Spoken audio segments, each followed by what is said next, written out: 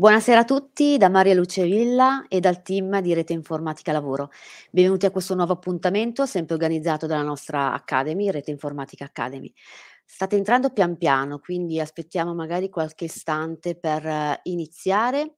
Intanto posso chiedervi in chat se mi sentite correttamente, se mi vedete. Se c'è qualcuno che mi perfetto, c'è qualcuno che mi scrive, grazie, grazie Alessio, grazie Mauro, benvenuti ancora. Perfetto. Tanti di voi ci seguono regolarmente e conoscono già un po' le attività di rete informatica lavoro come job board. Ma non facciamo solo questo.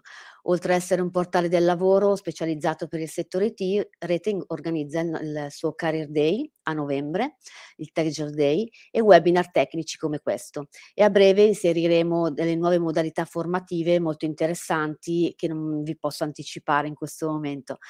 Ogni giovedì organizziamo questi webinar tecnici, come dicevo, gratuiti e sempre più spesso ci piace anche coinvolgere anche grandi aziende e professionisti che, che ci lavorano.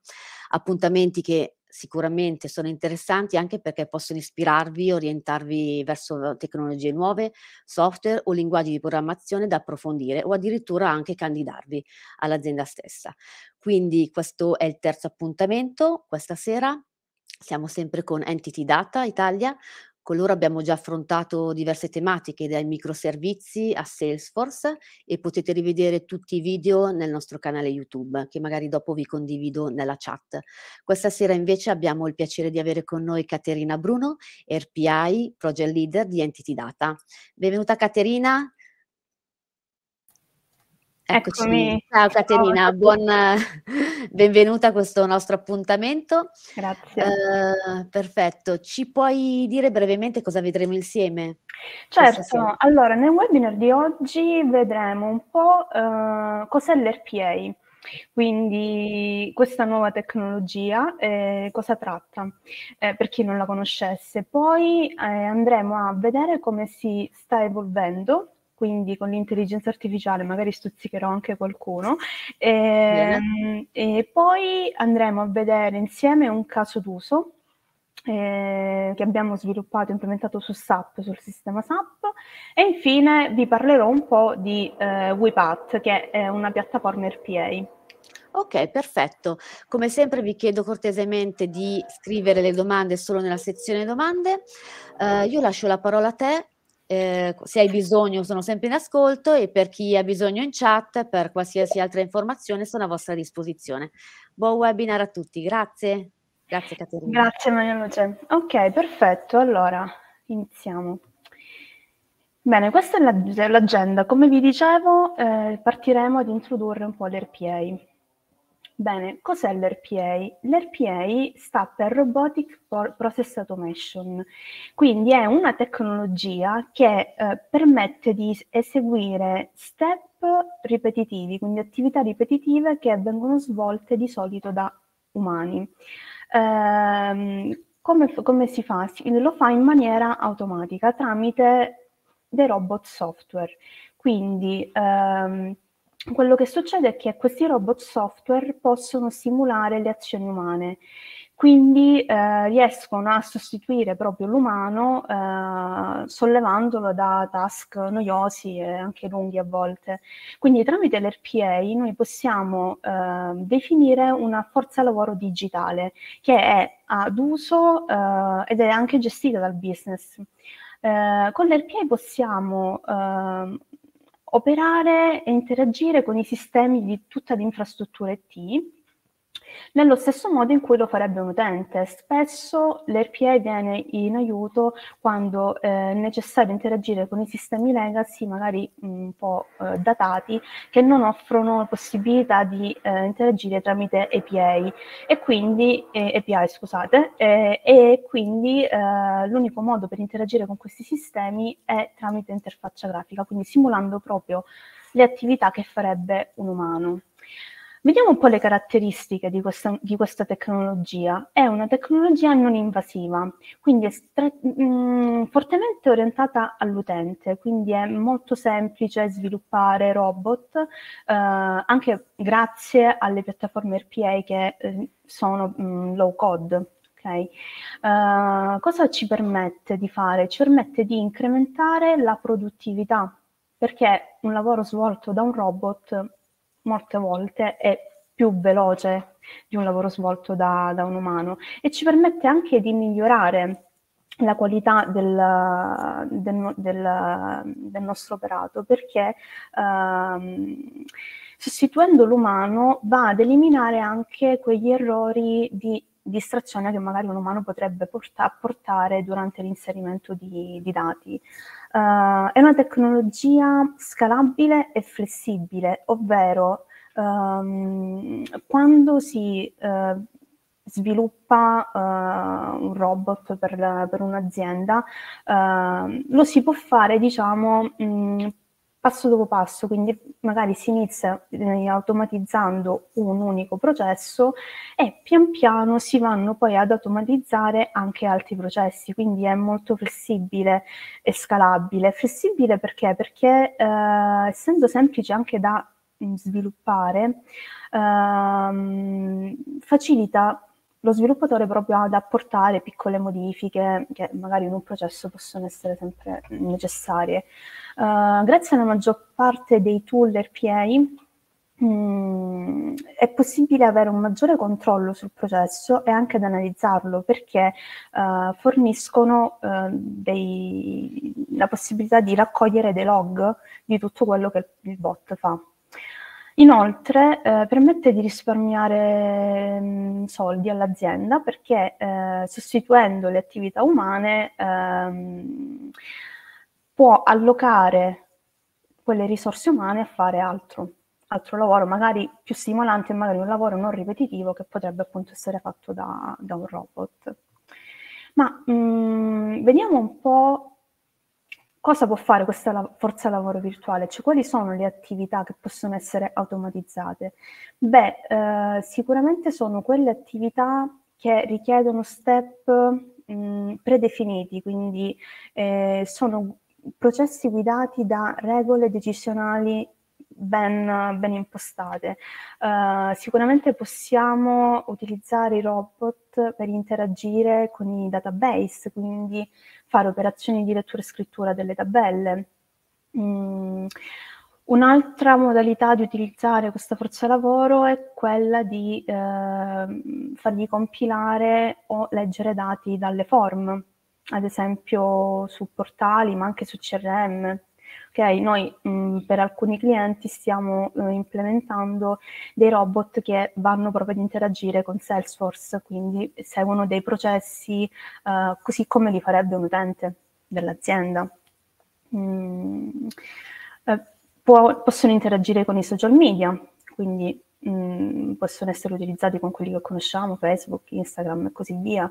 Uh, inoltre eh, lavorano anche eh, bene con uh, strumenti che gestiscono la posta, le mail, uh, perché possono leggerli, organizzare le mail, possono inviare mail, spesso lo fanno, cioè quasi tutti i robot eh, di cui mi sono occupata eh, alla fine elaborazione inviano una mail all'utente per, fare, per dargli un report di quello che è stato l'elaborato, oppure segnalano al supporto eh, eventuali eccezioni applicative, eventuali problemi. Eh, per, di più, per farvi giusto un esempio, eh, per un cliente abbiamo dovuto implementare un bot che si occupava di eh, leggere tantissime mail uh, e in base all'oggetto, in base alle caratteristiche, in base agli allegati che uh, erano associati a queste mail, uh, il bot doveva depositare e salvare gli allegati in particolari cartelle remote. Ovviamente tutto questo veniva fatto tramite input ben precisi dove gli si diceva al bot se l'oggetto ha queste caratteristiche allora depositalo nella cartella X e così via. Uh, cos'altro può fare? Può estrarre dati da report e da dashboard, può interagire e fare operazioni in applicazioni web, ma anche in applicazioni premises. Uh, e infine può anche collezionare dati da portali web. Per farvi un esempio, ehm, caso d'uso giusto così, ehm, che mi viene in mente, magari tutti i giorni si, possiamo eh, pensare ad un bot che tutti i giorni si collega mh, mm, su, su, un sito di, di trading e magari va ad estrarre tutte le informazioni dei titoli che ci interessano, ci costruisce un report e ce lo invia via mail. Bene, mh, mm, abbiamo parlato di cosa può fare, però cerchiamo di capire insieme quali sono i processi e che caratteristiche devono avere i processi affinché possano essere automatizzati. Sicuramente sono quei processi che eh, richiedono molte integrazioni tra mh, mm, più sistemi per inserimento di dati. Uh, giusto per uh, farvi entrare un po' nell'ottica, ci sono dei processi che magari mh, mm, a partire da un Excel mh, mm, con dei dati estratti da un sistema eh, devono, si devono andare ad inserire diciamo, questi dati su SAP, poi da SAP eh, estrarre dei report ed inserire qualche, qualche, informazione su Salesforce, giusto per farvi un po' mh, un'idea. Uh, sono processi di solito che, hanno, che confrontano dati da differenti sorgenti. Uh, come dicevo prima, mh, mm, sono processi che magari uh, automatizzano, cioè c'è bisogno di automatizzare attività molto ripetitive, uh, dove magari eh, se fatte dall'umano possono, mh, possono avere degli errori okay, dovute a distrazioni, magari sono processi massivi, quindi che riguardano una mole eh, considerevole di dati.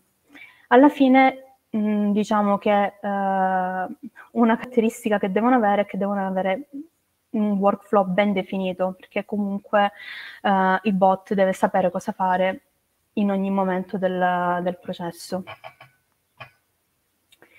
Ok, abbiamo parlato di le operazioni che possono essere automatizzate, i processi che eh, sono candidati ad essere automatizzati, ma eh, vediamo insieme mh, mm, in che modo, ok?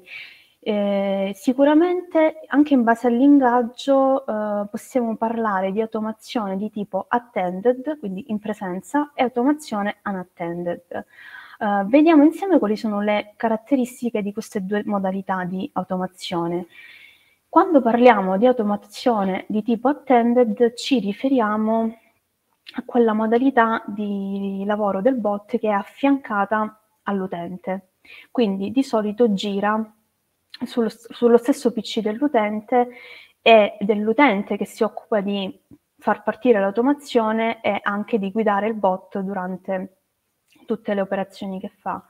Uh, sicuramente sono dei task questi che um, sono molto correlati a quello che l'operatore fa. E Solo in questa modalità di, cioè l'umano è in grado di interagire con il, con il robot. Magari eh, pensiamo a quei processi in cui eh, arrivati ad un certo punto c'è bisogno di, eh, dell'intervento umano affinché, mh, mm, ad esempio, validi una, un'operazione che eh, un input che il bot fa. Bene, questa è la, moda- la modalità giusta di, di automazione da, da adottare. Uh, in più si sceglie l'automazione di tipo attended quando uh, l'operatore deve avere visibilità di tutto quello che il bot sta facendo. E, a differenza invece dell'attended, l'unattended uh, lavora su architetture server che di solito non sono accessibili all'operatore. Uh, per questo motivo, affinché possa essere ingaggiato un bot di tipo unattended, di solito si usano delle schedulazioni programmate. Uh, sono bot che uh, non hanno bisogno di interazione umana e di solito sono utilizzati per lavorare in modalità back office, cioè in modalità back-end, magari uh, per gestire un, un, grande volume di dati, eh, ad esempio possono lavorare di notte per farvi capire.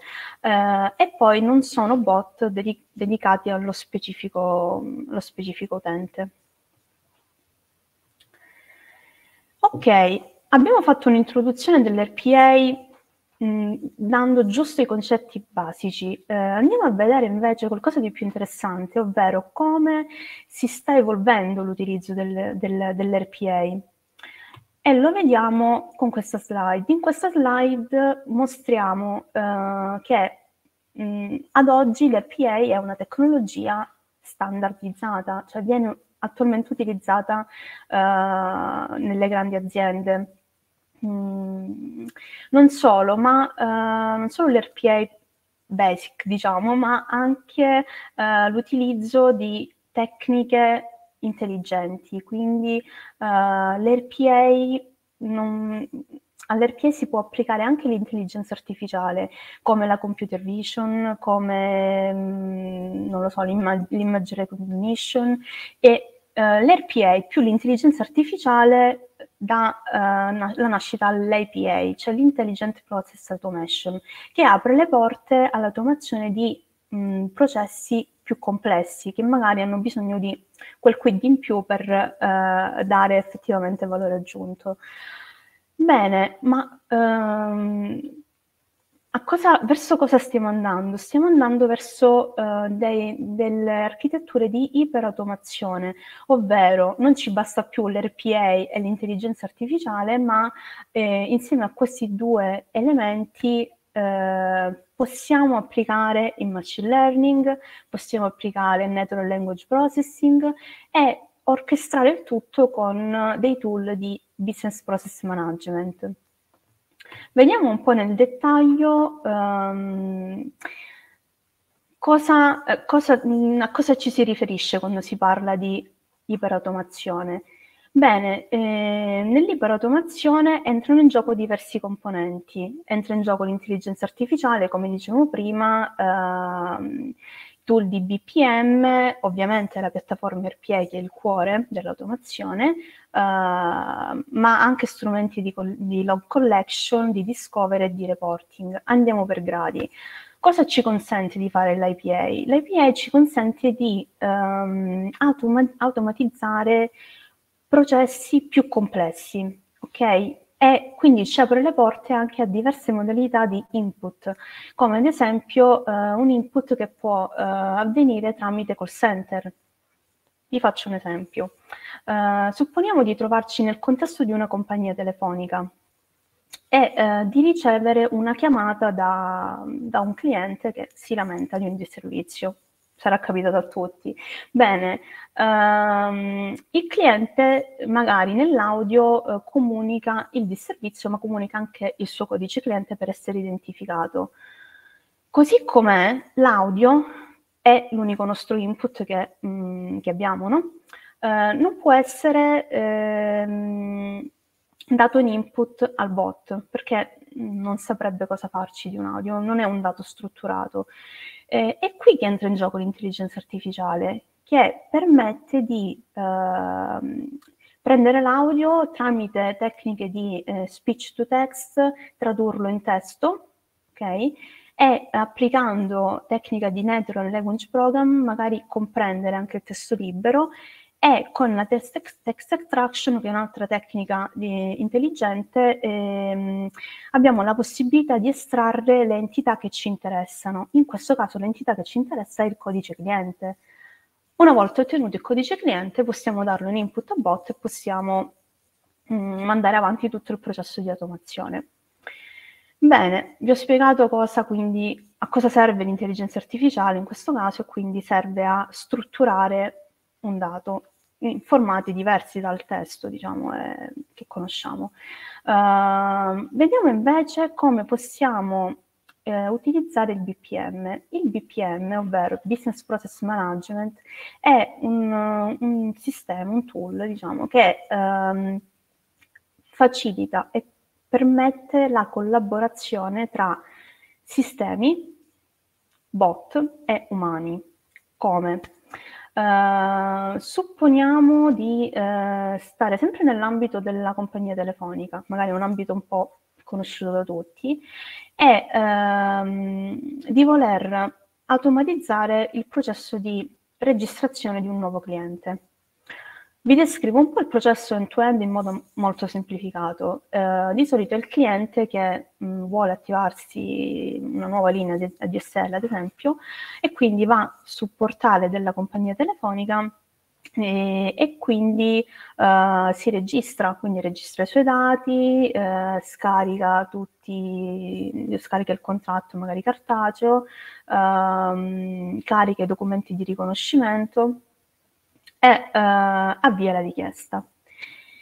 Bene, mh, mm, dopo di questo cosa succede? Backend, in backend succede che deve esserci un, un, operatore, un qualcuno che verifica l'attendibilità dei documenti che uh, il cliente ha, uh, ha caricato. Okay? Quindi come lo fa? Magari lo fa tramite video, tramite richiesta di conferma. Uh, dopo di questo avviene proprio l'attivazione tecnica, sistemi tecnici, e successivamente eh, si comunica al cliente l'avvenuta attivazione del, del, contratto. Tutti gli step che vi ho mh, indicato possono essere tranquillamente automatizzati da un bot, ad eccezione però eh, di quello che eh, richiede il riconoscimento dei documenti. Perché? Perché per legge deve essere fatto da un operatore umano. Bene, qui ci viene in aiuto il VPN. Il VPN quindi ci permette di uh, ingaggiare il bot per ad esempio andare a, uh, ad inserire dati del cliente nel CRM. Eh, una volta inseriti i dati del cliente nel CRM, mh, mm, poi va a creare un task per l'operatore che si occuperà di fare la verifica uh, dei documenti. Successivamente andrà a um, richiamare, ingaggiare il bot che si occuperà di fare le attivazioni tecniche e poi alla fine di mandare una mail di conferma attivazione del contratto. Quindi abbiamo visto come il BPM ci permette di orchestrare e di gestire tutto il flusso, quindi tutto il workflow de, di questo processo. Bene, eh, nei processi complessi è molto importante avere ehm, idea di quello che è successo per poter fare an- analisi, magari per capire se ci sono punti da migliorare. Qui è importante quindi avere un tool di log, log collection e management. E I log in, in, più possono essere dati in input a uh, tool di process mining eh, eh, che eh, appunto, come dicevo prima, um, danno una marcia in più alla nostra automazione perché permettono di eh, identificare ehm, delle, delle, inefficienze, eh, permettono di mh, mm, suggerire step, quali altri step del processo possono essere automatizzati. Ok, vediamo adesso qualche tool che magari può rientrare in questo framework. Eh, per quanto riguarda l'intelligenza artificiale, ehm, qui abbiamo riportato i servizi offerti dalla piattaforma di Google, ma ovviamente c'è anche la piattaforma di Microsoft e c'è anche ad esempio la, la piattaforma di Amazon e così via. Uh, per quanto riguarda il VPN, abbiamo uh, Appian, Activity, che sono di solito applicazioni low code. Uh, nella parte di RPA platform possiamo trovare i tool come Blue Prism, come UiPath, di cui vi parlerò alla fine di, di, questo, di questo, webinar, Nice, Automation Anywhere e altri che ne stanno, che stanno nascendo. Uh, per quanto riguarda invece la parte di log collection abbiamo uh, Elasticsearch più Logstash più Kibana eh, che sono um, open source e, o più oppure Slack per dirvene, darmi qualche, altro, qualche altra idea. E per la parte di discovery e di, report, di reporting troviamo sempre Wipat, Cryon e Zora. Questo per darvi un'idea. Bene, eh, proviamo a proiettarci un po' verso il mondo aziendale. Mm, quando eh, vogliamo inserire, far adottare l'RPA all'interno di un'azienda, eh, non possiamo partire in modalità Big Bang, no?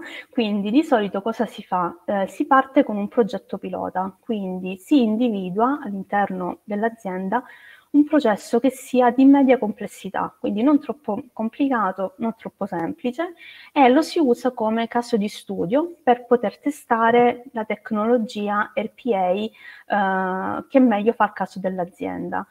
ehm, appunto da questo progetto pilota si vanno a studiare poi, ehm, si va a capire se la tecnologia RPA è quella adatta, se ehm, si sposa bene con tutte le tecnologie che sono attualmente utilizzate dall'azienda e comunque si definisce una roadmap di trasformazione RPA.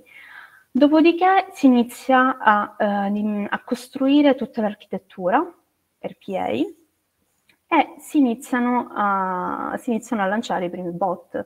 Pian piano si eh, implementano tutti gli altri punti della roadmap e si procede, uh, si lavora sempre eh, in modalità di continuous improvement, perché magari i processi, mh, una volta che eh, sono in produzione, ci si accorge che magari è, è più corretto farlo, applicare qualche, qualche, diciamo, qualche modifica, eh, si può migliorare, si può espandere, si può applicare l'intelligenza artificiale o quello che ci viene, che ci viene in mente. Ok, Adesso magari vi faccio vedere um, un caso d'uso, che è anche oggetto del nostro webinar, uh, di cui mi sono occupata um, qualche mese fa. Bene, l'obiettivo di, questa automazione che ci hanno chiesto era quella di uh, simulare, um, vedo che ci sono delle domande, mi sa. Scusate. Sì, se vuoi possiamo anche rispondere più tardi. Eh. Non, come vuoi, come sei più comoda? Sì, sì, eh, sì, direi di sì. Dai, così magari poi concentriamo tutto quanto alla fine. Ok. Ok, e vi dicevo, eh, lo scopo di, questo, di, questo, di, questa automazione che ci hanno richiesto era quella di ehm, simulare l'attività di uno sviluppatore SAP. Uh, per fare cosa? Per andare ad inserire nel sistema uh, una configurazione di una company. Ok?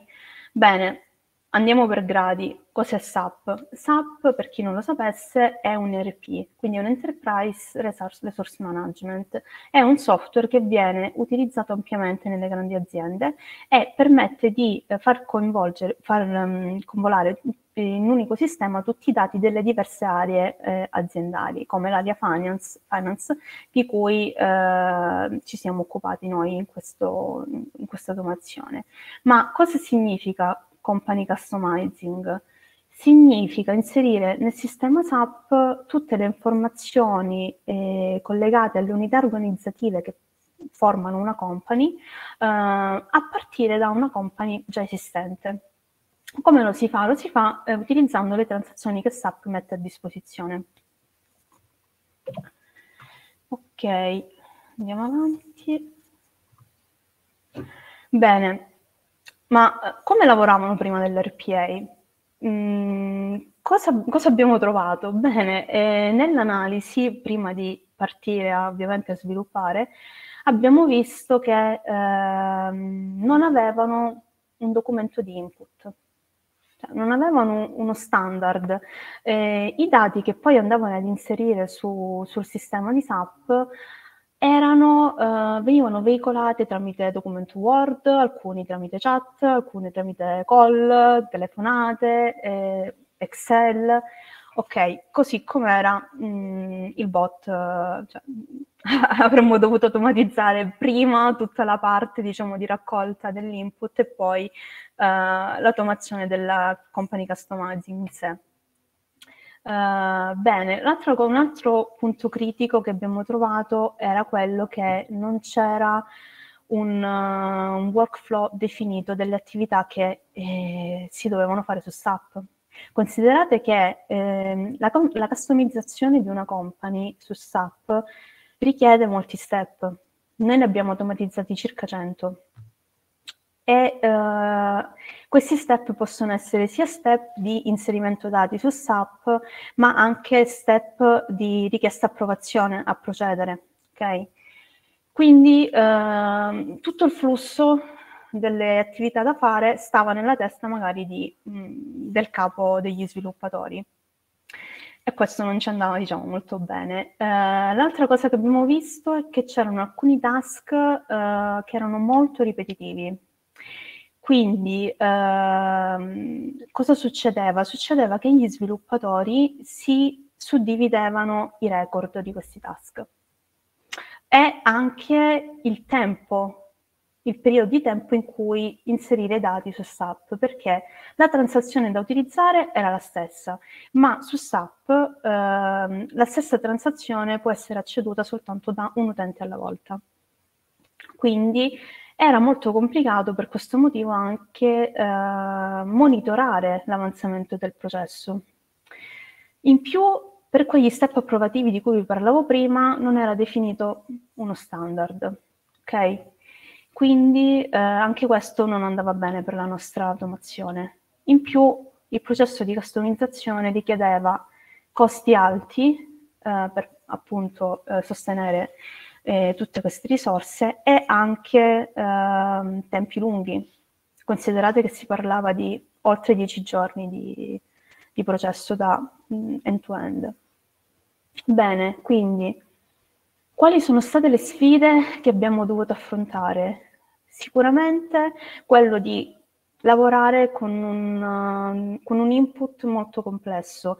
Complesso perché abbiamo fatto confluire in un unico Excel ehm, tutti, tutti, i dati di cui il bot aveva bisogno.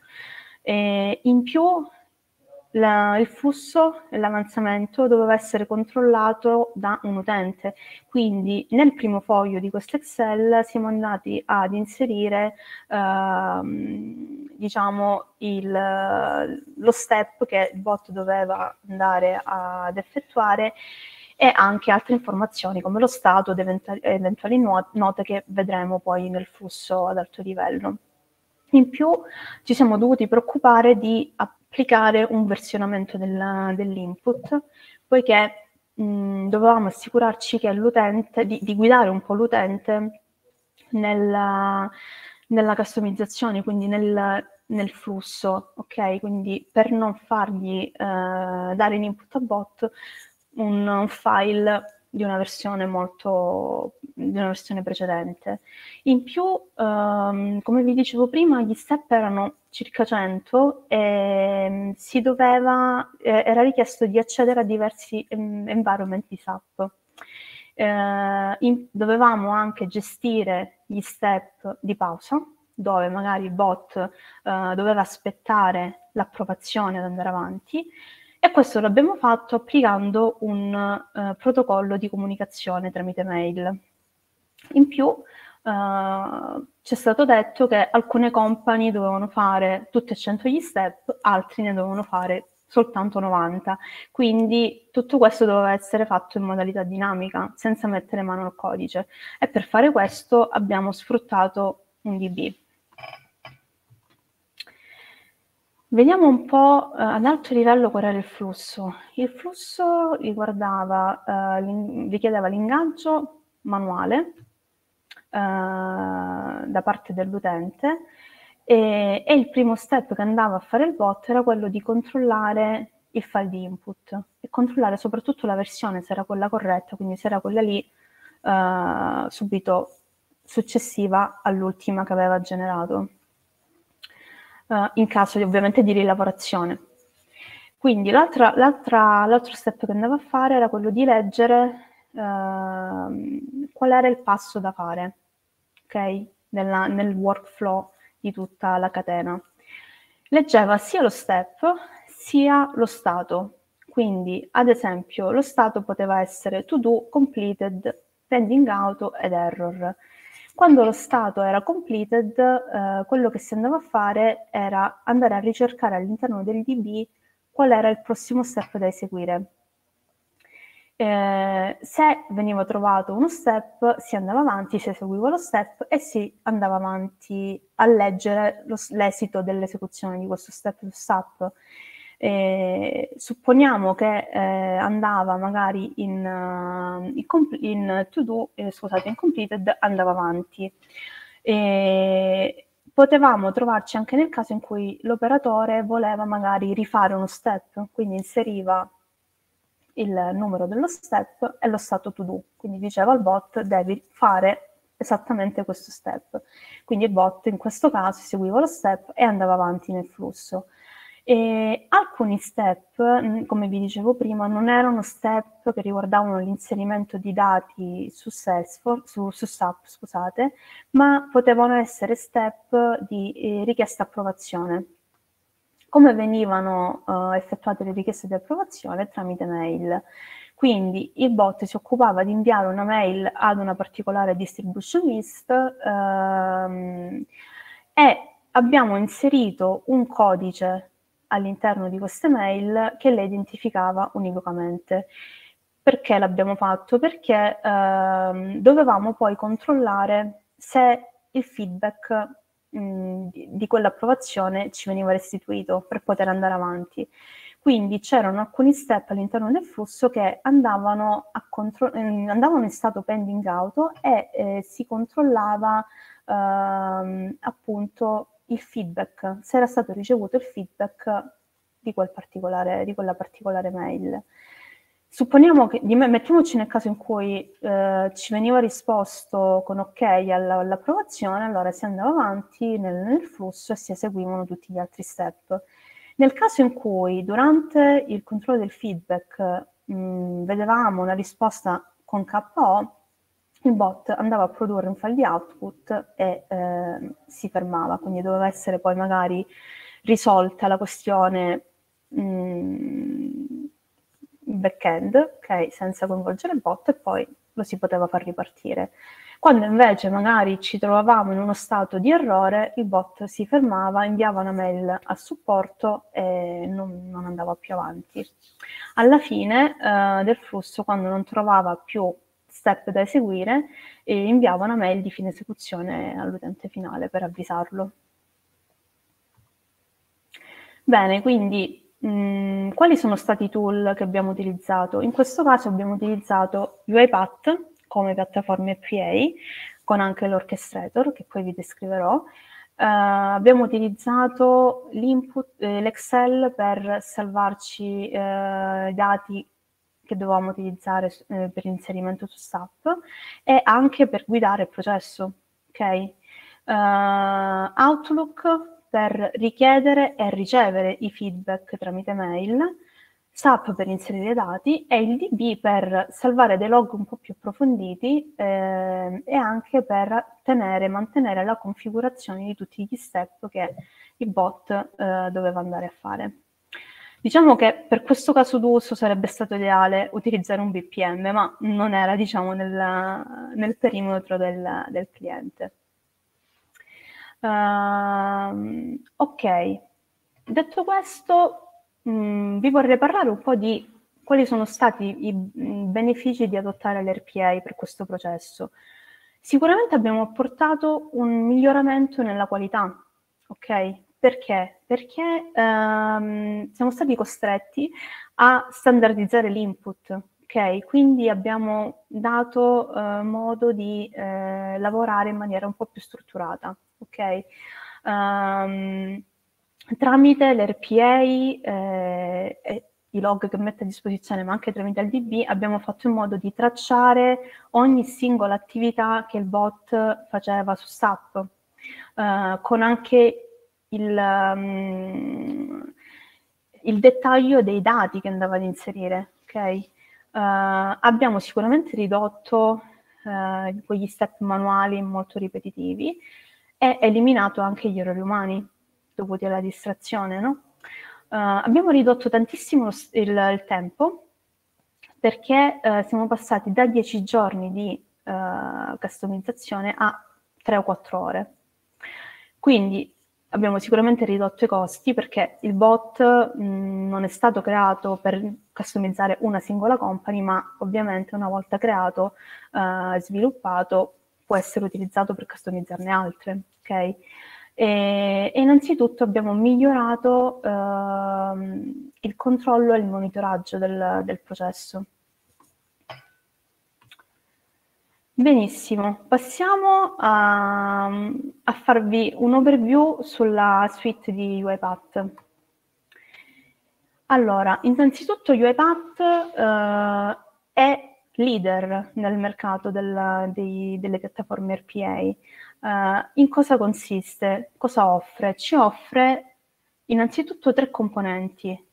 Lo studio, che è un designer visuale, ok? È un tool che ci permette tramite il drag and drop di implementare nostra, il nostro processo automatizzato. Uh, ha delle activity già presviluppate e, quindi per la maggior parte del caso, dei casi non è richiesto, um, non è richiesto del codice, ok? Possiamo utilizzare già quello che ci fornisce. E insieme allo studio abbiamo eh, l'orchestrator. L'orchestrator è un, um, un, il prodotto che ci permette di gestire e organizzare eh, tutto ciò che ruota attorno alla nostra autom- automazione, quindi dal robot, quindi dalle macchine in cui vengono eseguiti i processi, ai processi stessi con tutte le loro versioni, eh, anche agli asset, ad esempio, gli asset sono, um, possiamo vederli come um, il salvataggio di credenziali per l'accesso ai portali, per l'accesso ai database, quindi che vengono poi crittografati, quindi anche, c'è anche una sicurezza in più, oppure delle costanti, delle distribution list che possono essere utilizzate dai robot. Um, i robot possono lavorare anche con, uh, con, le code di lavorazione, quindi dall'orchestrator riusciamo a gestire le code, gli elementi delle code e vedere il loro stato. Sempre dall'orchestrator possiamo uh, vedere i log di esecuzione dei nostri processi e anche gestire ovviamente le schedulazioni, eventuali trigger. Tutto questo però non, non gira senza WePath Robot, che è praticamente l'esecutore dei, dei, nostri processi automatizzati. Quindi diciamo che il, implementiamo, sviluppiamo il nostro bot con lo studio, lo pubblichiamo sull'orchestrator, lo lanciamo e l'esecuzione vera e propria viene fatta dal, dal WePath Robot. Ok. Ehm, UiPath offre eh, la, una, un, la Community Edition. La Community Edition è eh, praticamente la possibilità di eh, utilizzare il software, quindi utilizzare lo studio, l'orchestrator e anche UiPath Robot per eh, scopi didattici, per utenti per i privati, ma anche per piccole aziende. Um, io qui vi ho lasciato il link eh, che potete utilizzare appunto per registrarvi gratuitamente, è tutto gratuito, e per poter cominciare ad utilizzare eh, UiPath. Um, sarete supportati sempre da una community, quindi c'è un forum dove sicuramente troverete mh, le risposte diciamo, alle vostre domande. E un'altra mh, caratteristica di UiPath è quella che mette a disposizione un'academy online e, e facilita quindi l'adozione pure dell'apprendimento dell'RPA perché vi eh, dà un'introduzione su tutte le tematiche che girano attorno all'RPA, ma anche eh, vi offre dei piani di apprendimento. Ad esempio c'è il piano di apprendimento RPA Developer Advanced che è strettamente correlato alla certificazione. Questi corsi sono molto interattivi, non sono per niente noiosi. Ehm, durante i vari, i vari corsi eh, vengono, cioè, ci sono dei quiz da superare, eh, io vi ho fatto qualche screenshot giusto per darvi l'idea, ma eh, una cosa che ho trovato molto, molto utile sono i video. Sono dei video che vi mostrano proprio come lavorare su PAT e con le trascrizioni in inglese eh, e anche soprattutto con degli esercizi pratici. Vi ho lasciato anche il link della, dell'Academy, così potete, se avete voglia, potete andare a vedere, potete iniziare già ad imparare qualcosa oppure ad approfondire eh, le vostre skill, se già li avete. Vi vorrei parlare anche un po' del programma di certificazione che offre WIPAT e diciamo che ehm, si basa su due canali, si basa sul canale di General Track e Developer Track. E, diciamo, nella General Track abbiamo una certificazione che è indicata per quei ruoli che uh, vogliono avere, mh, vogliono dimostrare diciamo, le basi, di conoscere le basi dell'RPA, le basi della tecnologia e di avere, saper di avere diciamo, buone capacità di problem solving, di riuscire ad, ad identificare uh, i processi che possono essere automatizzati eh, e possono anche uh, implementare delle semplici automazioni. Quindi sto parlando in questo caso della, della certificazione eh, UiPath RPA Associate. Uh, questa certificazione è consigliata per gli, RP, i junior gli RPA developers, gli architetti, business analyst e così via. Invece nel, eh, nell'RPA Developer Track troviamo eh, la UiPath Advanced RPA Developer. Questa è una certificazione che è più mirata uh, ai tecnici, quindi eh, riguarda ehm, diciamo, dimostra eh, la conoscenza di, de, de, del framework che sta dietro WIPAT, che è il Robotic Enterprise Framework, e che permette di implementare delle soluzioni RPA molto complesse. Um, quindi è raccomandata anche a chi ha almeno sei mesi di esperienza nel campo è, eh, diciamo, è consigliata agli architetti e a chi vuole appunto dimostrare di avere un'expertise di un certo livello su, sul prodotto. Bene, io ho terminato. Vi ringrazio innanzitutto e adesso passiamo magari... Grazie. Eh, allora, grazie mille, sei stata proprio uh, chiarissima. Meno allora, per me. Allora, andiamo alle domande. C'è Francesco che ne ha fatte diverse, però eh, ti riassumo un po'. Per quanto riguarda in caso di errore del bot, oppure sì. tu un po' l'avevi accennato, ma magari se ci puoi aggiungere qualcosa, cosa succede? Cioè si blocca il processo e poi dici... Allora, ehm, ci si è riferiti, cioè si, si, ci si sta riferendo al caso d'uso in particolare o in generale a tutte le automazioni? In, anche in generale. Allora, diciamo che mh, nell'RPA eh, ci sono due tipi di eccezioni, due tipi di errori che si possono rappresent- eh, presentare. Una tipologia d'errore è quella lì applicativa, ok? Quindi è quella che riguarda... Ehm, non lo so, stiamo navigando su un portale, oh, il portale non risponde più, non, non, ci presenta la pagina che ci aspettiamo, il bot non sa cosa fare, ok? Quindi questa è tipo, la tipologia di eccezione applicativa. In questo caso eh, è consigliato di implementare, di utilizzare il framework innanzitutto, che è il REF, il eh, Robotic Enterprise Framework, che permette già di gestire queste, eh, queste le eccezioni quindi eh, in pratica eh, quello che consiglio in caso di system exception, di eccezione applicativa, è di inviare una mail al supporto e di far sì che il supporto poi vada a controllare il bot. Okay? se si applica il framework, in caso di eccezioni applicative, quello che è previsto è che si eh, vanno a chiudere tutte le applicazioni che sono state aperte e si va a ricominciare un giro pulito. Quindi in quel caso si va a fare logout, si va a killare il browser e si riapre facendo un giro diciamo pulito. Magari l'eccezione applicativa non si ripresenterà più. Okay? Eh, dopo un tot numero di volte impostabile, configurabile, se continua a presentarsi l'eccezione, allora solo in quel punto si andrà a contattare il supporto. Questa è l'eccezione di tipo, di tipo applicativo. C'è un'altra tipologia di eccezione che è quella di tipo business. Ok? Supponiamo di, eh, provo a farvi un esempio, supponiamo di eh, essere, compi- stiamo, che stiamo compilando una form su Salesforce, ok?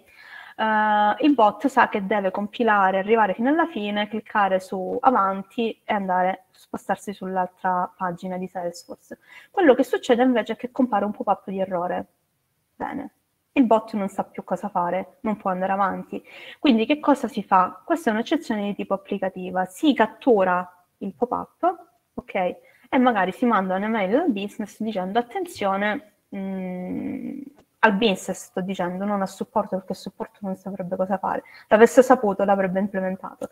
E si manda una mail al business e gli si dice eh, attenzione, non, il bot non può andare avanti per questo motivo. Quindi abbiamo due, due tipi di eccezione che utilizzando il framework si, ries- si, riescono a gestire. Non so se ho risposto alla domanda, se ho risposto da Sì, abbiamo risposto diciamo un po' più generale, ma giustamente è utile anche per tutti. Eh, nella chat puoi trovare una domanda per quanto riguarda la sicurezza. Ci sono vulnerabilità in questi bot? Allora, eh, direi di no, perché comunque è gestito tutto dalla piattaforma di, di RPA, cioè non mi sono mai dovuta preoccupare di andare a, mm, della sicurezza, perché comunque è, è, la piattaforma di UiPath, in questo caso io ho sviluppato su UiPath, che si occupa di rendere il tutto sicuro. Ok. Allora, vediamo. Eh, io di solito ti faccio sempre questa domanda, eh, che tipo di figure sono coinvolte in questo tipo di progetti? Cioè il tuo team, da, da chi è composto? Così almeno diamo un po' qualche indicazione utile. Ok, allora, eh, innanzitutto serve una figura eh, del mio livello, ok, che permette di eh, gestire le figure che stanno sotto, ok, che eh, sono magari più operative è di di interfacciarsi con il cliente, ok? E quindi di capire le esigenze del cliente, di tradurle in qualcosa un po' più di pratico, ok? Ehm, sono necessari sicuramente gli sviluppatori RPA, senza di loro le automazioni non sarebbero possibili. E, ehm, diciamo, per ehm, applicazioni complesse è, è richiesto un certo livello di expertise, quindi uh, un progetto del genere come quello che ho descritto da uno sviluppatore con poca esperienza mh, mm, non poteva andare in porto, perché alla base di tutto c'è l'analisi e c'è un, um, l'archi- la, l'architettura, ok? Il progettare il bot, progettare quello che il bot dovrà fare. Queste sono eh, skill che si acquisiscono col tempo, ok? Da uno sviluppatore certo. junior non ci si può aspettare tutto questo. Ok. Quindi sono team che comunque sono piccoli team, ma comunque con una, un'esperienza. Sì, giusto per, dar, per dare un'idea, in quel uh, progetto che ho presentato eh, c'erano due sviluppatori senior Uh-huh. Uh, quindi con qualche anno di esperienza uh, c'ero io e poi c'era una parte funzionale eh, che appunto ci spiegava cosa fare su SAP perché mh, mm, SAP non, è, diciamo, non, non, lo conoscevamo, quindi serve qualcuno okay. che ci indichi un po' quali sono gli step operativi che il bot dovrà fare. Okay. All'interno di Entity Data c'è una sorta di formazione per questi tipi di progetti, per allinearsi un po' e per iniziare questo tipo di progetto oppure... Allora, eh, come azienda eh, siamo abituati a non abbandonare le persone, cioè anche se eh, non abbiamo eh, un corso di formazione proprio sull'RPA, eh, una persona junior che sia che eh, magari eh, inseriamo nel team viene comunque sempre sostenuta da eh, una figura più senior che la guida e appunto lo mm, risolve i dubbi che ha. Okay? Oltre al fatto che vabbè, per quanto riguarda l'RPA eh, c'è l'Academy di UiPath mm-hmm. che è eccezionale. Io stessa l'ho seguita e ho conseguito anche la certificazione, quindi la consiglio, mi sento di consigliarla perché okay veramente fatta bene. Perfetto. C'è una, mm, sempre una domanda in chat, se vuoi leggerla tu, è di Michael. Sì. Ok. Ehm, io vedo solo quelle di Francesco. Dove stanno? No, è nella chat. Nella, nella chat, nella chat ok. Sì. Che ruolo gioca il regex, regu- eh, vabbè, le regular expression nell'RPA per il filtraggio dei dati non strutturati soprattutto? Allora, eh, noi l'abbiamo utilizzato, l'abbiamo utilizzato, eh, diciamo che è importante conoscerlo perché viene sicuramente utile in, in, nel, nel, progetto. Um, poi mh, mm, non lo so, cioè non, non, non saprei a cos'altro, cioè, cos'altro dire, sinceramente. Ok, quindi serve comunque questo tipo di progetti? Sì, sì, sì, può essere okay. utile. Diciamo che um, puoi sviluppare un'automazione anche senza avere basi uh, diciamo approfondite del, della programmazione, ma se ce li hai hai una spinta in più perché molte cose le fai più velocemente. Certo. Dicevi quanto durano questi tipi di progetti? Cioè dal allora, cliente, dall'analisi e tutto quanto? Allora, dall'analisi al go live in produzione possiamo dire che è un progetto semplice eh, richiede almeno un 10 giorni di sviluppo. Uno medio, eh, un mesetto, un mese e mezzo. Eh, uno complicato anche di più. Questo di SAP, ad esempio, ci ha richiesto mh, mm, tre mesi, quattro mesi. Ok. E ovviamente più risorse. Interessante. Interessante. Se ci sono altre domande oppure vediamo, aspettiamo un po' se qualcuno, vediamo nelle, nella sezione domande se possiamo. Allora, Pietro, quali linguaggi sono stati utilizzati nell'automazione? Eh, mm, direi nessuno, a parte l'SQL per interrogare il DB, tutto il resto è stato fatto eh, utilizzando le SAP Activities, quindi che è un pacchettino di activity precostruite per interagire con SAP che ti mette a disposizione via PAT e come codice eh, no, semplicemente giusto delle query per interrogare il DB e per poter interagire col DB.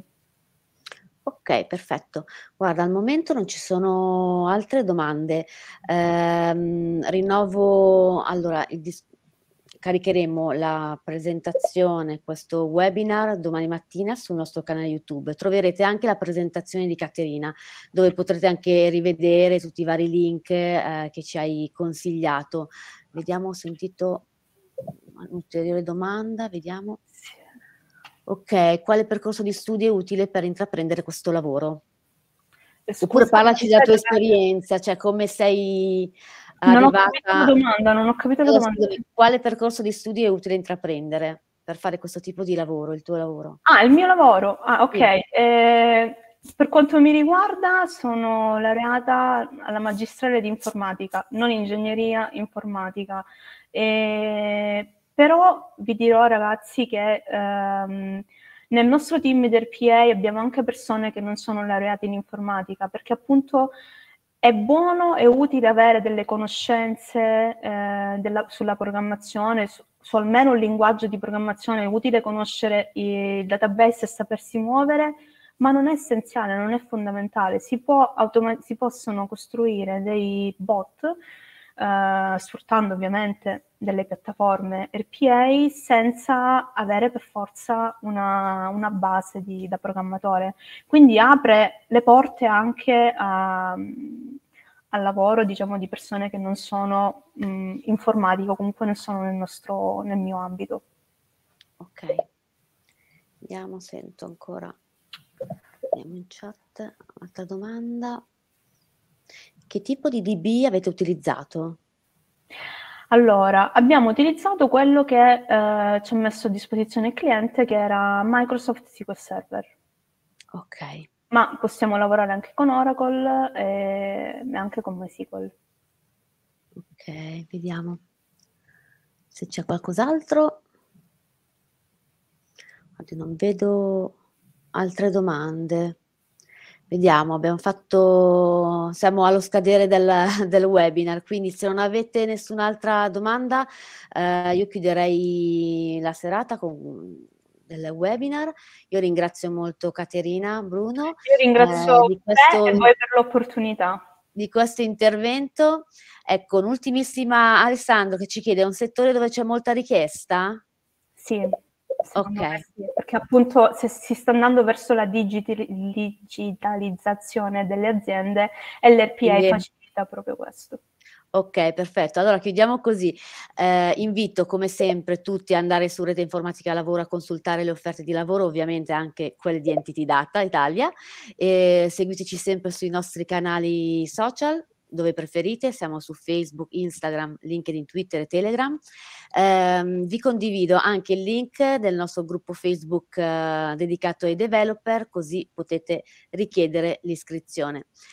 Grazie mille ancora Caterina Bruno di Antididata, è stato un piacere conoscerti e a presto, grazie, grazie buona serata, buona serata a tutti. Ciao. Grazie. Ciao, grazie.